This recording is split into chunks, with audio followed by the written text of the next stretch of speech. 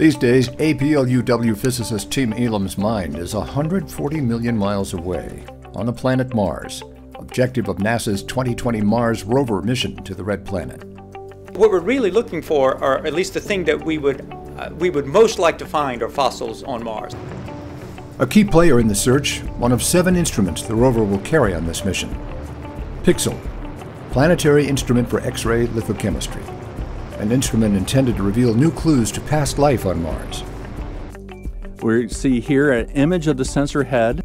By doing the X-ray lithochemistry, it can map out the element distribution of the rock that's looking at and put it on an image. So what this does is give you the interfaces, gives you the fine scale mineralogy. It tells you where the action is on the smaller scale.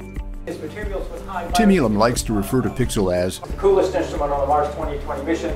One of the things that makes PIXL such a cool instrument is that it doesn't just tell us the composition of these materials, but it also tells us their structure, what elements are in different places. We can make a map of its spatial distribution. Um, and that's critical for finding biosignatures. Since Mars is such a dry environment and cold environment right now, we don't expect to find very much in the way of things that are alive right now.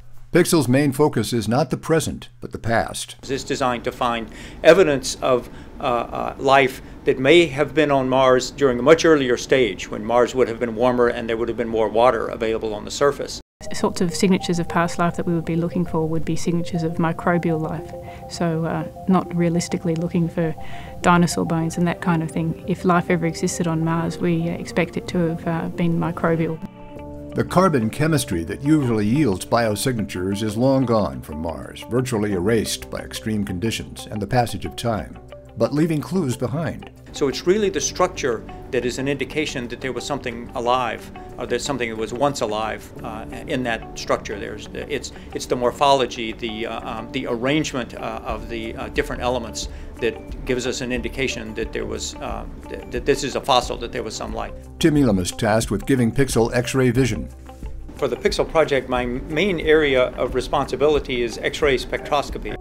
Most of the people who are involved in this on, on, the science team are experts in rock morphology and geology. Um, and I was brought into it uh, because they really needed an expert on the X-ray spectroscopy, on the X-ray fluorescence part of the instrument. I don't have an official title, but I like to think of myself as the chief spectroscopist. Tim's twin challenges PIXL survivability. It has to withstand the temperature extremes um, and it has to withstand being transported to Mars and operate. And PIXL accuracy. One of my main jobs is to make sure that it can give accurate results while it's on Mars. T minus 10. PIXL has to be rocket ready by 2018, so the pressure of time already weighs heavily. Four, three, two. People have not yet flown an instrument of this complexity with the high voltage power supplies that we need um, and the x-ray tubes and x-ray sources in order to be able to do an imaging um, x-ray fluorescence uh, instruments. The plan is to have the instrument itself built about two years from now. Um, and at that point we can begin calibration and we can turn it over to NASA to start uh, getting it ready for launch. Tim Elam hopes to witness the 2020 Mars rover with PIXL on board blast off on its eight-month journey to Mars. I am very excited about the possibility of actually seeing the launch myself, um, and in fact I hope to take my entire family. Science at work for you. This is APL, the Applied Physics Laboratory at the University of Washington in Seattle.